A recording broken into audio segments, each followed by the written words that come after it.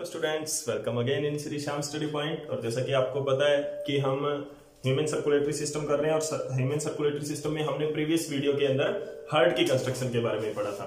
तो today we will start the topic with the working of heart कि किस तरह से हार्ट काम करता है और सर्कुलेशन ऑफ़ ब्लड किस तरह से होती है। तो यानी कि दो तरह से इस टॉपिक को लिया जा सकता है। पहला तो है वर्किंग ऑफ़ हार्ट की किस तरह से, क्योंकि हमने पढ़ा था कि जो हार्ट की जो वर्किंग है वो क्या होती है? वो होती है पंपिंग ऑफ़ ब्लड तो वर्किंग ऑफ़ हार्ट भी आ सकता है और सर्कुलेशन ऑफ़ ब्लड भी आ सकता है कि किस तरह से ब्लड सर्कुलेट होता है। तो pumping of heart working of heart and circulation human के केस में हम पढ़ेंगे आज। तो उसके लिए क्या है कि जो लास्ट वीडियो के अंदर हमने जो कंस्ट्रक्शन ऑफ़ द हार्ट की थी, ये जो कंस्ट्रक्शन आपने हार्ट की की थी, इसके अंदर आपने क्या पढ़ा था? Different parts of the heart पढ़ा था। मैं दोबारा एक बार रिवाइज करवा देता हूँ ताकि ये कंस्ट्रक्शन आप अच्छी वर्किंग आप अच्छी तरह से कर सको। पिछले जो कंस्ट्रक्शन में हमने क्या किया था? तो heart is four chamber four chamber है हार्ट के right atrium left atrium upper दो को क्या बोलते हैं? एट्रियम बोलते हैं लोअर टू को वेंट्रिकल बोलते हैं। तो lower two lower ventricle and two upper atrium ठीक है? राइट साइड में जो है right atrium and right ventricle left side में left atrium and left ventricle these atrium and ventricles are connected by और ओपन बाय ए वाल जो कि left atrium और लेफ़्ट वेंट्रिकल के बीच में क्या है? बाइकस्पीड वाल है और राइट एट्रियम और राइट वेंट्रिकल के बीच में क्या है? ट्राइकस्पीड वाल है। ठीक है? राइट वेंट्रियम के अंदर मेन वेन है जो पूरी बॉडी से ब्लड लेके आएगी। ठीक है? पूरी बॉडी से ब्लड लेके आएगी। राइट वेंट्रिकल के अंदर। राइट वेंट्रिकल के अंदर क्या है? पल्मोनरी आर्टरी है। राइट वेंट्रिकल के अंदर क्या है? पल्मोनरी आर्टरी है। ये क्या करेगी? राइट वेंट्रिकल टू ब्लड कहाँ लेके जा रही है? लंग्स के अंदर लेके जा रही है। ठीक है ना? पल्मोनरी आर्टरी है तो ये कहाँ लेके जाएगी? ब्लड को लंग्स के अंदर लेके जाएगी। ठीक है? उसके बाद में क्या है? लेफ़्ट एट्रियम से में ब्लड आ रहा है पल्मोनरी वेन के थ्रू यहाँ पर ब्लड आएगा। और जो लेफ़्ट वेंट्रिकल है, उसके अंदर क्या है? अपना मेन ऑर्टा है, जो कि पूरी बॉडी में क्या करेगी? ब्लड को ट्रांसपोर्ट करेगी, ठीक है? अब यहाँ पे क्या होता है? टू टाइप्स ऑफ़ वाल्व होते हैं तो वाल्व का क्या काम होता है पहले तो ठीक है? वाल्व का क्या काम होता है? वाल्व का फ़ंक्शन क्या होता है? तो वाल्व यहाँ पे ट्राइकस्पीड वाल्व बाइकस्पीड वाल्व और दो सेमिलुनर वाल्व होते हैं, किसके अंदर? आर्टरीज के अंदर। ठीक है वेन के अंदर कोई वाल नहीं है यहाँ पर देखो। आर्टरीज के अंदर टू सेमिलुनर वाल होते हैं। तो इनका फ़ंक्शन क्या होता है? It they prevent back flow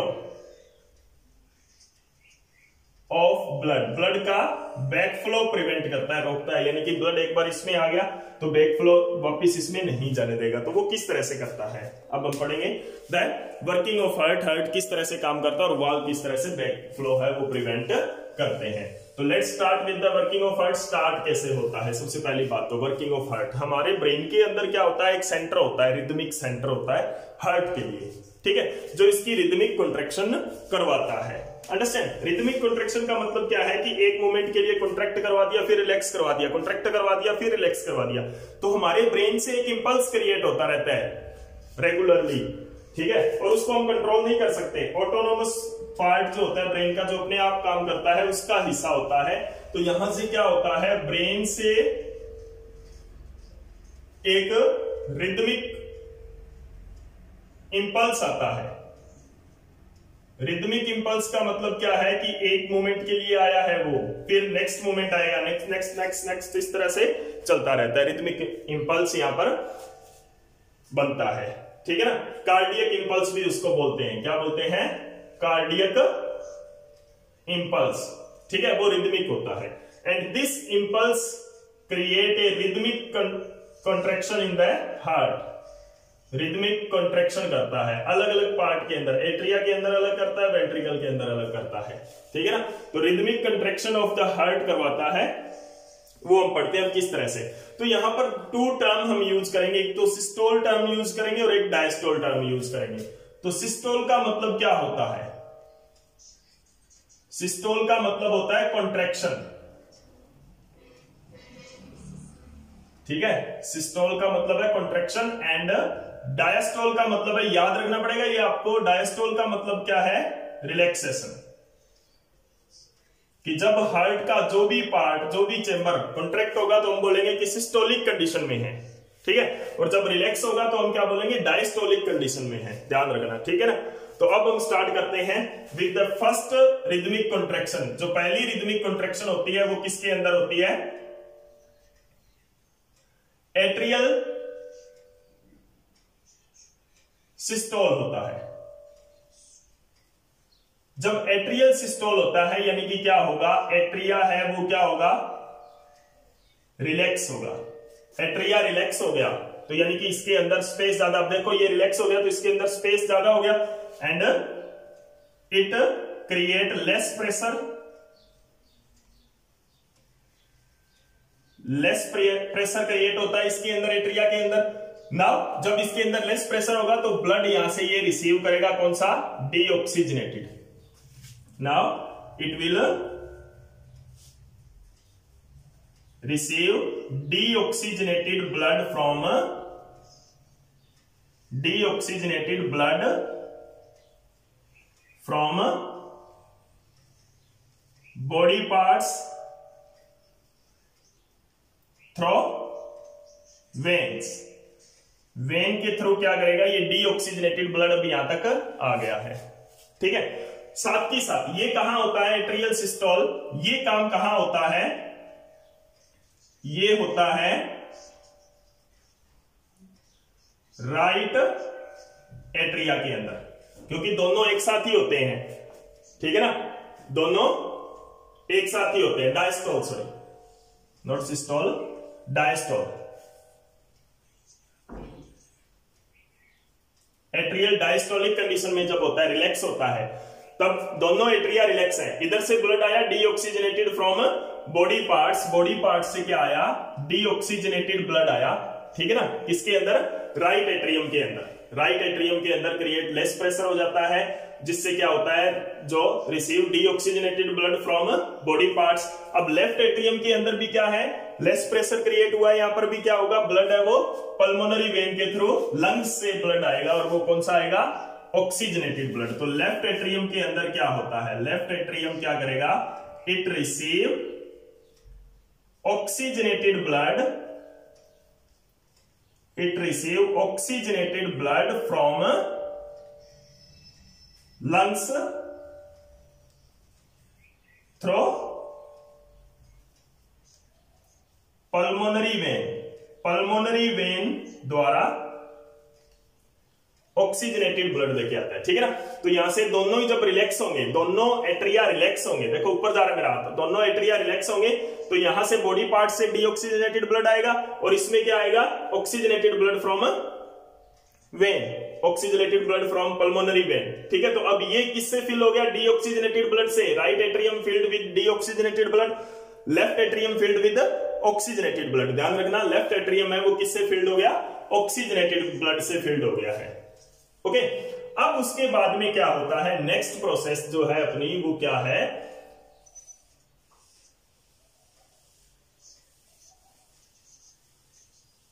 next process है एट्रियल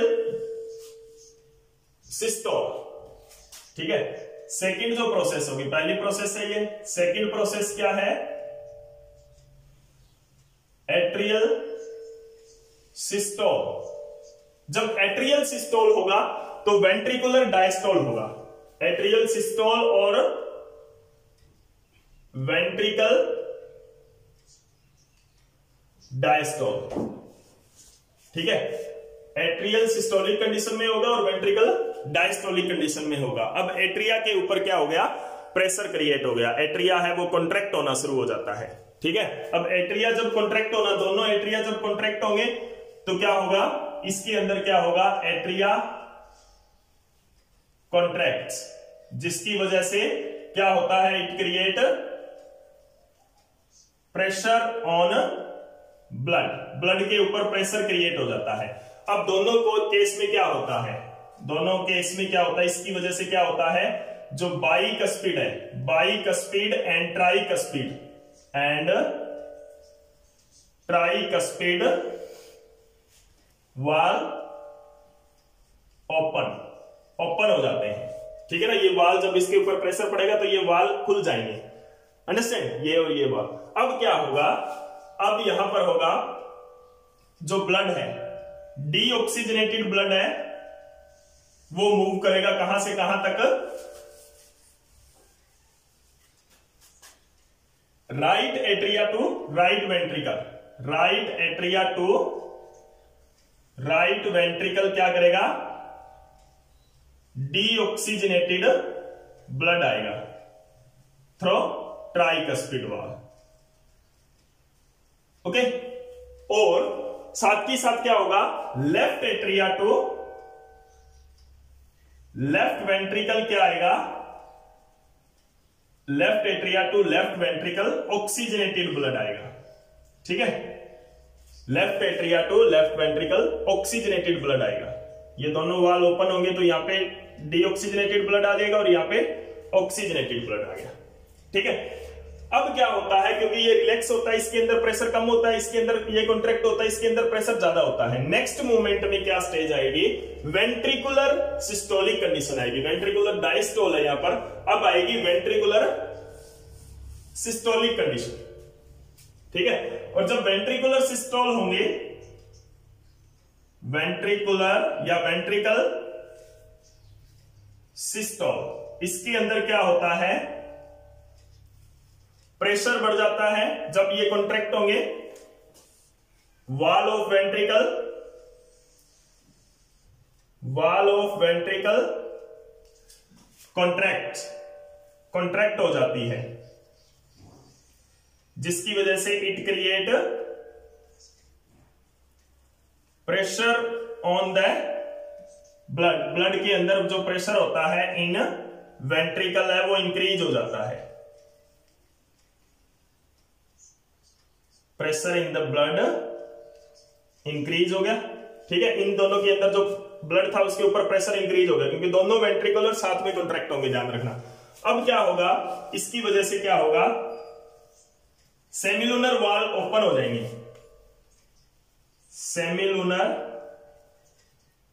वाल ओपन एंड बेक फ्लो होने लग जाएगा। ब्लड यहाँ पर जब बेक फ्लो होने लगेगा, इसके अंदर जो प्रेशर क्रिएट होगा, देखो यहाँ पर क्या है कि जो ब्लड है वो जब एट्रिया से आया इनके अंदर तो इस डायरेक्शन में आया ठीक है?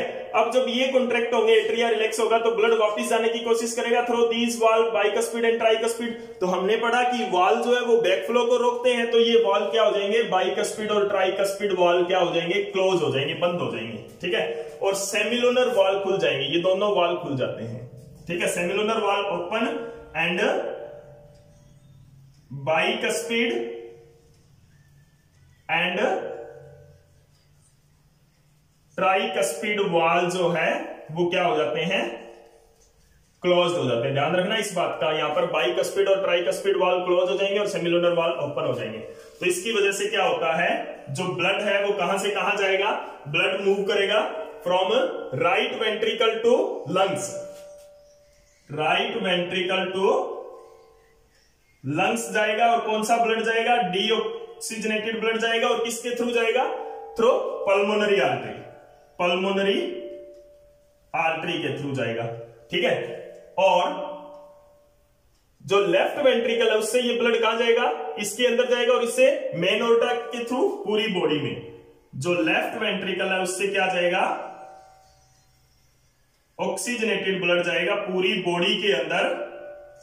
Oxygenated blood through main aorta ठीक है ना? तो उसके बाद में क्या होगा? फिर ये सारा ब्लड जब इनके अंदर चला जाएगा लंग्स के अंदर चला गया, इधर से और इधर से, पूरी बॉडी के अंदर चला गया। अब क्या होंगे? ये खाली हो जाएँगे, फिर ये क्या होगा? वेंट्रिकुलर डायस्टॉल हो जाएँगे और एट्रियम सिस्टॉल तो ये फिर सारा ब्लड इसके अंदर आ जाएगा, फिर ये कॉन्ट्रैक्ट होंगे। तो ये क्या इस तरह से प्रोसेस चलती रहती है? तो एक बार मैं फिर से रिपीट करवाता हूँ इसको कि एट्रियल जब सिस्टोलिक कंडीशन में होते हैं तो एट्रिया के ऊपर प्रेशर पड़ जाता है। तो राइट एट्रिया से डीऑक्सीजनेटेड ब्लड आएगा through through tricuspid valve tricuspid valve के थ्रू आया, और इधर से बाइकस्पीड वॉल के थ्रू लेफ़्ट एट्रिया से ये ब्लड आया। तो यहाँ पर ब्लड ध्यान रखना, इधर से कौन सा आ रहा है? डीऑक्सीजनेटेड ब्लड आ रहा है कार्बन डाइऑक्साइड वाला। इधर से ऑक्सीजन वाला आ रहा है ऑक्सीजनेटेड ब्लड आ रहा है। ठीक है? तो ये दोनों के अंदर आ जाता है। अभी दोनों वेंट्रिकल जब कॉन्ट्रैक्ट होंगे तो ये ब्लड ये बाइक स्पीड और ट्राइक स्पीड वाल क्या हो जाएँगे? क्लोज हो जाएँगे और जो ब्लड है सेमिलोनर वाल ओपन हो जाएँगे और इनके थ्रू ब्लड है वो लंग्स और पूरी बॉडी पार्ट्स में चला जाएगा। ठीक है ना? दोबारा वेंट्रिकल रिलैक्स होंगे एट्रिया कॉन्ट्रैक्ट होंगे तो ये ब्लड फिर आ जाएगा। ठीक है ना? फिर ये कॉन्ट्रैक्ट होंगे bicuspid tricuspid valve close हो जाएँगे और सेमिलोनर वाल के अंदर सेमिलोनर वाल के थ्रू ये ब्लड जो है बॉडी पार्ट्स और लंग्स के अंदर पहुँच जाएगा। तो this is the working of heart इस तरह से हार्ट वर्किंग करता है और अभी आपको पता चला कि रिदमिक कॉन्ट्रेक्शन इस तरह से होती है कि वेंट्रिकल एक बार कॉन्ट्रैक्ट हो गया, फिर रिलैक्स एक बार फिर कॉन्ट्रैक्ट फिर रिलैक्स फिर कॉन्ट्रैक्ट फिर रिलैक्स तो वैसे ही एट्रिया भी है, एक बार कॉन्ट्रैक्ट तो फिर रिलैक्स कॉन्ट्रैक्ट फिर रिलैक्स ठीक है? तो this is the working of heart इस तरह से जो हार्ट है, वो काम करता है। अभी देखो, इसके अंदर बाइक स्पीड और ट्राइक स्पीड वाल है, वो ओपन और क्लोज हो जाते हैं। तो इनका तो आपको पता चल गया, सेमिलोनर वाल कब क्लोज होते हैं? सेमिलोनर वाल कब क्लोज होते हैं? जब एट्रिया कॉन्ट्रैक्ट होते हैं। अभी देखो मैं आपको बताता हूँ कि ये वाल कब क्लोज और कब ओपन होते हैं। जब एट्रिया कॉन्ट्रैक्ट होता है, ठीक है? उस टाइम कौन कौन से वाल क्लोज होते हैं और कौन कौन से ओपन होते हैं?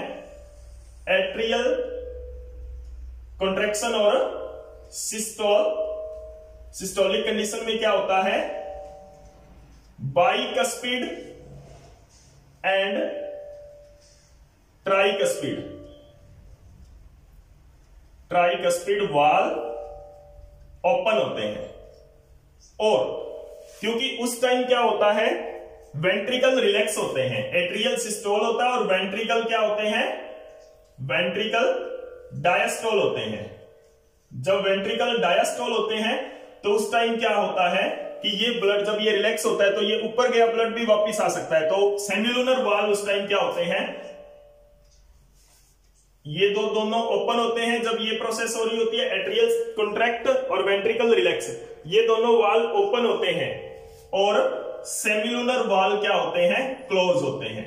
सेमिलुनर वाल जो है, वो क्या होते हैं? क्लोज रहते हैं। दूसरी कंडीशन क्या होती है? जब वेंट्रिकल कॉन्ट्रैक्ट होता है और एट्रिया रिलैक्स होते हैं तो यानी कि क्या है?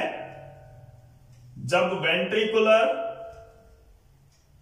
वेंट्रिकुलर सिस्टोल होता है in the case of ventricular systolic condition उस टाइम में क्या होता है? एट्रिया रिलैक्स होंगे, यानी कि उस टाइम में क्या होगा? जो एट्रिया है, वो डायस्टोलिक कंडीशन में होगा। एट्रिया है, वो डायस्टोल होगा। इस केस के अंदर क्या होगा कौन कौन से वाल ओपन होंगे कौन कौन से वाल क्लोज रहेंगे? तो इस केस में बैक फ्लो को प्रिवेंट करने के लिए bicuspid and tricuspid valve है। Bicuspid and tricuspid valve जो है, वो क्या रहेंगे? क्लोज रहेंगे। To prevent the back flow of blood from ventricle to atria. Atria ventricle से एट्रिया में वापस ब्लड ना जाए, क्योंकि डायरेक्शन क्या है? एट्रिया से ब्लड आना चाहिए वेंट्रिकल के अंदर। ठीक है? तो वेंट्रिकल से वापस एट्रिया में ब्लड ना जाए तो ये बाइक स्पीड और ट्राइक स्पीड ओपन हो जाते हैं। अब ये ब्लड जाएगा कहाँ पर? सेमिलुनर वाल ओपन हो जाएँगे। एंड सेमिलुनर वाल जो है सेमिलुनर वाल ओपन हो जाएँगे। ठीक है ना? ताकि ब्लड यहाँ जाए। अब जब ये रिलैक्स होगा तो ये ब्लड वापस ना आए, क्योंकि जब रिलैक्स होगा तो इसके अंदर लो प्रेशर क्रिएट होगा तो इसके अंदर ज़्यादा प्रेशर से ब्लड पंप किया तो ये हाई प्रेशर टू ब्लड वापस आने की कोशिश करेगा तो सेमिलोनर वाल क्या हो जाएँगे? क्लोज हो जाएँगे और बाइक स्पीड और ट्राइक स्पीड ओपन हो जाएँगे, ताकि एट्रिया से ब्लड इनके अंदर आ सके। ठीक है ना? तो इस तरह से ये क्या करते हैं? They control the flow direction flow of blood in a particular direction की एक डायरेक्शन में ब्लड फ्लो करता रहे। कौन सी डायरेक्शन है वो? यहाँ से ब्लड आया, इसके अंदर और यहाँ गया। इस डायरेक्शन के लिए ये दो वाल होते हैं मेन इधर से ये, ठीक है ना? उसके बाद में जो मेन पॉइंट यहाँ पर रहता है, वो क्या रहता है? सेप्टम का हमारा। सेप्टम देखो। ये बीच में जो सेप्टम है, इसका क्या काम रहता है? तो जो सेप्टम का जो फ़ंक्शन रहता है it prevent the mixing of blood को प्रिवेंट करता है। ये मिक्सिंग ऑफ़ ब्लड को। क्योंकि हमारी बॉडी को क्या चाहिए? ऑक्सीजनेटेड ब्लड चाहिए। ठीक है? हमारी बॉडी को क्या चाहिए? ऑक्सीजनेटेड ब्लड चाहिए। तो बॉडी के अंदर ऑक्सीजनेटेड ब्लड तभी जाएगा जब ये ऑक्सीजनेटेड ब्लड इस साइड में रहेगा। तो यानी कि एक चीज़ ध्यान रखना कि right side of the heart heart के राइट साइड में क्या रहता है? जो दोनों चैम्बर होते हैं, उनके अंदर डीऑक्सीजनेटेड ब्लड रहता है। और लेफ़्ट साइड में क्या रहता है? ऑक्सीजनेटेड ब्लड रहता है। ये किसकी वजह से होता है? सिर्फ़ और सिर्फ़ सेप्टम की वजह से होता है। उनके बीच में जो वाल बनी है, उसके कारण होता है। ठीक है ना? अगर ये वाल नहीं होती तो इधर से कार्बन डाइऑक्साइड डीऑक्सीजनेटेड ब्लड और इधर से ऑक्सीजनेटेड ब्लड दोनों मिक्स हो जाते, इधर वाले भी मिक्स हो जाते। ठीक है ना? तो ये क्या होता है? जो four chamber well developed human का जो हार्ट है, वो क्या करता है? जो सेप्टम बीच में जो होती है, जो पार्टीशन करती है हार्ट का, वो क्या करती है? It prevent the mixing of blood deoxygenated blood है वो राइट right साइड में रखती है ऑक्सीजनेटेड ब्लड है वो लेफ़्ट साइड में रखती है अपने। ठीक है? अगर सेप्टम के अंदर कहीं पर भी होल हो जाता है या सेप्टम डैमेज हो जाती है तो क्या होता है कि हमारी बॉडी की ऑक्सीजन रिक्वायरमेंट पूरी नहीं होगी, क्योंकि ये जो ऑक्सीजनेटेड ब्लड जा रहा है, उसके साथ साथ कुछ डीऑक्सीजनेटेड ब्लड भी मिक्स होके जाएगा तो वो ऑक्सीजन रिक्वायरमेंट को पूरा नहीं करेगी, ठीक है ना? तो सेप्टम क्या करती है? डीऑक्सीजनेटेड ब्लड और ऑक्सीजनेटेड ब्लड को मिक्सिंग नहीं होने देती it prevent the mixing of blood prevent कर रही है, ठीक है ना? तो ये मिक्सिंग नहीं होने देती तो this is the work circulation in human beings human beings के अंदर ये सर्कुलेशन इस तरह की होती है। ठीक है ना? एक रफली डायग्राम से मैं इस प्रोसेस को जल्दी रिपीट करने की कोशिश करूँगा ताकि आपको अच्छी तरह से समझ में आ जाए। ये कंडीशन है। मान लो ये हार्ट है। ठीक है? ये वॉल है।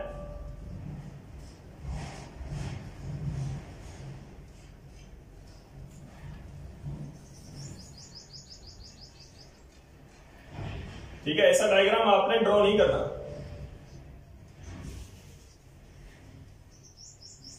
ये वॉल है इसके बाइकस्पिड और ट्राइकस्पिड और यहाँ पर क्या है? ये सेप्टम है बीच में। ये है पल्मोनरी आर्टरी और ये है मेन आर्टरी ठीक है? यहाँ से पल्मोनरी ब्लड वेसल आ रही है, और यहाँ से वेन आ रही। है ठीक है? अब देखो यहाँ से डीऑक्सीजनेटेड ब्लड आया। डीऑक्सीजनेटेड ब्लड राइट एट्रियम में आया वेन के थ्रू वेन से वो ब्लड ट्राइकस्पिड वाल से होता हुआ राइट वेंट्रिकल में गया। एट्रियम से ब्लड वेंट्रिकल में गया। यहाँ से सेमिलोनर वाल ओपन हो जाते हैं तो ये ब्लड कहाँ गया? लंग्स में गया। लंग्स से ऑक्सीजनेटेड ब्लड यहाँ से आया। किसके अंदर? लेफ़्ट एट्रियम के अंदर। और लेफ़्ट एट्रियम से ये ब्लड गया। लेफ़्ट वेंट्रिकल के अंदर और लेफ़्ट वेंट्रिकल से ये ब्लड गया कहाँ पर? मेन ओल्ट्रा के अंदर और ये ऑक्सीजनेटेड ब्लड पूरी बॉडी में ट्रांसपोर्ट हो जाता है। ठीक है ना? तो this is the working of heart तो कॉन्ट्रेक्शन रिलैक्सेशन का यहाँ पर ध्यान रखना। ठीक है ना? तो इस क्लिप को अच्छी तरह से देखें, क्योंकि बहुत इंपॉर्टेंट टॉपिक ये मैंने पिछले क्लिप में भी कहा था कि बहुत इंपॉर्टेंट टॉपिक है। तो ह्यूमन सर्कुलेटरी सिस्टम में working of the heart construction of the heart and एक डबल सर्कुलेशन बहुत इंपॉर्टेंट टॉपिक है। पूरा का पूरा टॉपिक ही बहुत ज़्यादा इंपॉर्टेंट है, क्योंकि ज़्यादातर फाइव मार्क्स का क्वेश्चन इसमें आता है बोर्ड एग्ज़ाम में, और कंपटीशन लेवल पे भी बहुत ज़्यादा क्वेश्चन इसके अंदर से पूछे जाते हैं। तो उम्मीद करता हूँ कि आपका ये कंसेप्ट क्लियर कर पाया हूँ, और अगर वीडियो आपको अच्छी लगे तो लाइक एंड शेयर करना। Thank you